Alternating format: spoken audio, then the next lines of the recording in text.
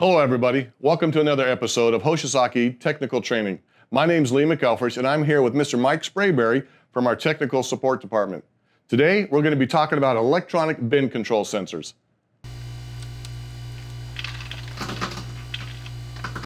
Hey, Mike, tell me a little bit about the electronic bin control sensors that Hoshizaki uses on their ice makers. Okay, Lee. So the sensor I have in my hand now is the infrared sensor that was used on the modular J model flakers up until August 2023 when we switched over to the ultrasonic bin control. Let me start with how the infrared sensor works. Uh, so the infrared sensor, there's two LEDs on it. Uh, there's a green LED indicating that it has power, and there's a yellow LED that indicates the ice level and approaching ice level. Uh, so the yellow LED, once the ice starts rising and gets close to the activation point, it starts flashing yellow. The activation point of the bin control is actually between 11 and 13 inches. And once it reaches that point, the yellow light goes solid and then it starts a shutdown process. The infrared bin control on a modular flaker J model plugs up to the K6 connector on the control board. So the infrared bin control works in conjunction with the proximity switches is mounted on top of the chute in the modular flakers. Should the infrared fail, ice backs up into the chute, opens the switch, and the shutdown process starts. So when we transition from the infrared to the ultrasonic on the modular flakers, they work a little bit differently, but they both still work in conjunction with the proximity switch on top of the ice chute. Where the infrared is, uses light to activate the bin control, the ultrasonic uses sound. Uh, one other thing to note, the shutoff points on the infrared are not adjustable. The shutoff points on the ultrasonic are adjustable using a dial on the control board. So the ultrasonic bin control on modular flakers plugs into the K10 board connector on the control board. And as we mentioned earlier, the depth of the ice can be set by using this dial.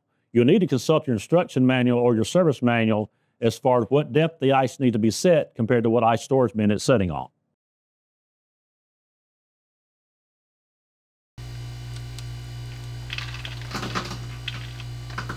Hey, Mike, tell me a little bit about the ultrasonic bin control sensors for a KM series ice maker.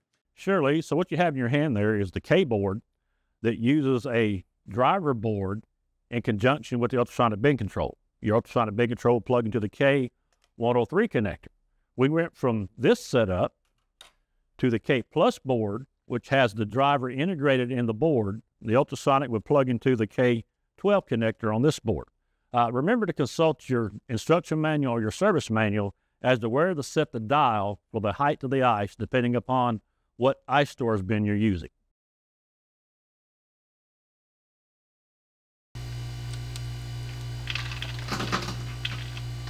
Hey, Mike, thanks for that. Some good information. So tell me how I'm going to diagnose a faulty bin control sensor. Surely. So on the infrared sensor that was used on the modular flakers, uh, you should always have a green light on the top of the sensor as long as it's powered up.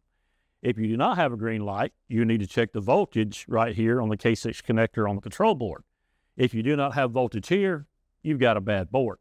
If you have voltage at the board but do not have a green light on the sensor, you've got a bad sensor. So one of the easiest diagnostics to do on the infrared is to wipe the lens off to make sure it's not clouded over with scale or make sure there's nothing blocking the lens. So the next thing you want to do is point the infrared out in midair and the unit still doesn't come on, chances are you have a bad sensor. All right, so checking the ultrasonic is pretty much the same way as the infrared. You want to remove the sensor from the unit, wipe the face off, uh, hang it out in midair. If the unit still does not start up, you may have a bad sensor, or you may want to check the voltage at the K10 connector. You will want to consult the service manual for the proper voltage coming out of the connector.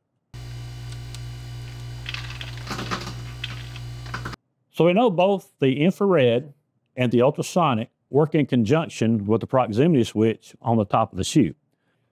So to test the proximity switch is sometimes referred to as bin control 2 in your manual. You want to connect the leads to your proximity switch to the leads of your meter, set your meter to continuity, turn it on. You hear a tone, that means it's closed. So what you want to do is reach inside, push the lever, it should open. Release the lever, it should close. You want to cycle that about 10 times. So if you do that 10 times, one out of those 10 times, if it fails to close and you release the lever, or if it fails to open when you push in on the lever, you'll want to replace the proximity switch.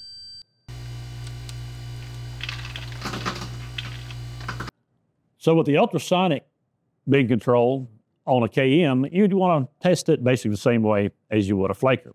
You will remove the sensor, uh, wipe the face off, uh, hold it up to midair.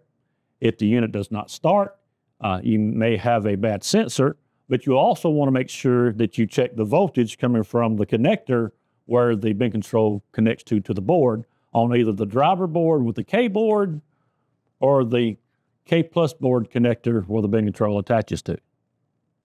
So, Mike, I've tested everything you've told me to do, but I still believe that my sensor is good. What else could be wrong?